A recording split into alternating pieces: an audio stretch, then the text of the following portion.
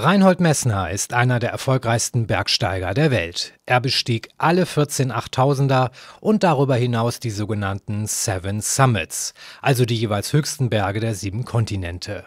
2006 eröffnete er in Südtirol das umstrittene Messner Mountain Museum. Bevor er aber Museumsdirektor wurde, saß er eine Legislaturperiode lang für die Grüne Partei Italiens im Europaparlament. Also es war schon für mich auch interessant zu sehen, wie äh, im Hintergrund ein Parlament funktioniert.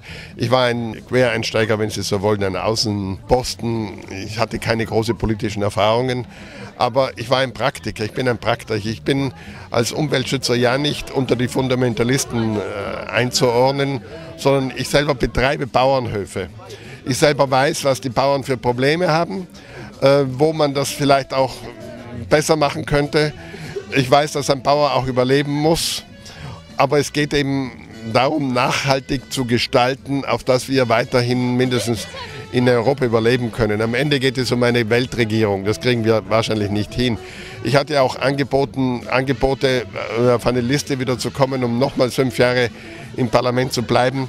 Habe es dann nicht getan, weil ich mehr Verantwortung hätte übernehmen müssen in einer zweiten Periode und inzwischen diese Museumsidee so weit gediehen war, dass ich die hätte aufgeben müssen für eine zweite Kandidatur. Und ich glaube, dass ich in meiner Position außerhalb des Parlaments mindestens so viel erreiche, wie wenn ich jetzt ein Mandat habe. Und rein wirtschaftlich brauchte ich es nicht und habe es dann nicht mehr getan. Sie haben ja alle großen Berge bestiegen. Haben Sie so eine Art Lieblingsberg, einen Berg, wo Sie sagen, ja, da würde ich gerne noch mal rauf?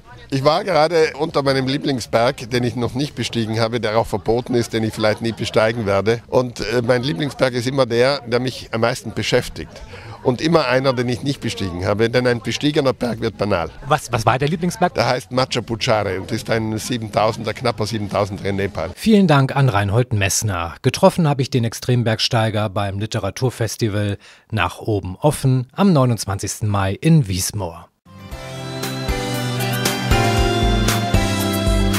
Ollis Radioshow, zweimal im Monat hier bei Oldenburg 1. Ollis Radioshow. Schalten Sie ein, dann schalten Sie ab.